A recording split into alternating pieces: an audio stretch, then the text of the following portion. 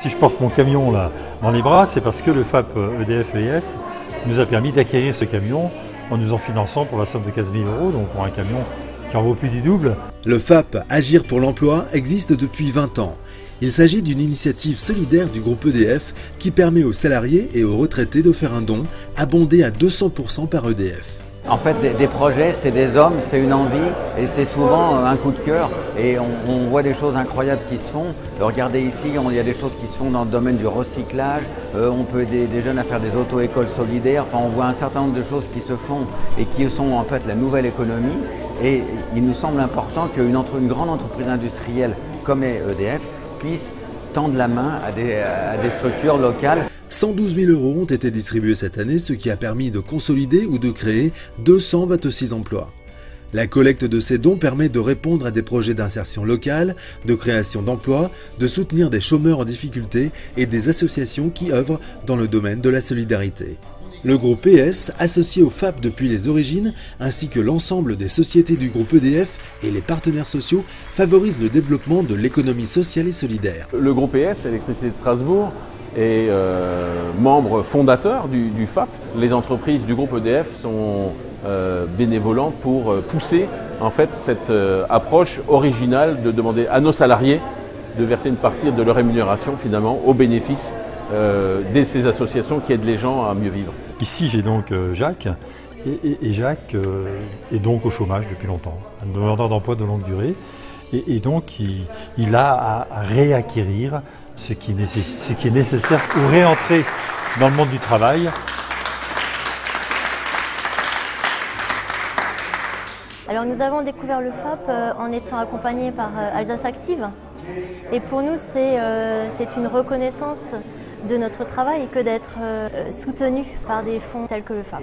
C'est un grand moment puisqu'aujourd'hui, nous avons reçu le chèque de 25 000 euros du FAP EDF qui pour nous représente euh, une belle somme d'argent pour réaliser nos travaux d'aménagement de locaux euh, à l'atelier du Beau. Parmi les projets présentés dans toute la France, 5 associations ont été choisies en Alsace et 6 projets de chômeurs créateurs d'entreprises ont bénéficié d'une aide FAP.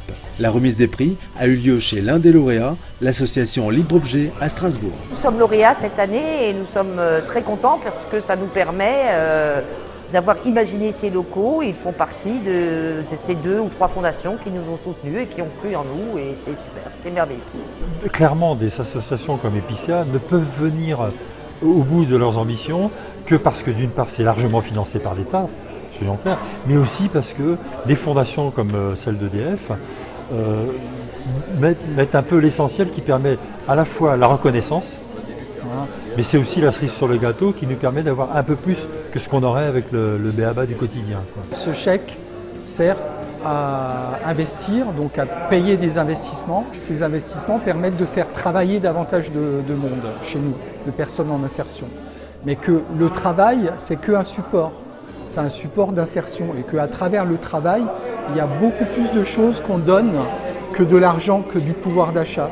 On donne de, euh, l'estime de soi, on donne euh, de l'insertion euh, professionnelle, on donne de l'insertion sociale, on donne un accompagnement. Au moment où on parle peut-être de moins en moins de services publics et de plus en plus de concurrence, ben moi il me semble, et c'est pas du tout ringard, c'est même furieusement moderne à mon sens, que porter haut l'étendard de la solidarité comme on fait aujourd'hui en Alsace, euh, c'est quelque part un élément de fierté. Donc si j'avais quelque chose à retenir, oui, je suis un président fier, fier de mon équipe, faire des projets qu'on aide et heureux de pouvoir continuer à œuvrer dans le domaine de la solidarité. Donc en fait, c'est l'histoire du papillon. Hein. Donc c'est l'effet papillon. Donc l'argent euh, qu'on reçoit du FAP, ben, ça a des répercussions beaucoup plus vastes.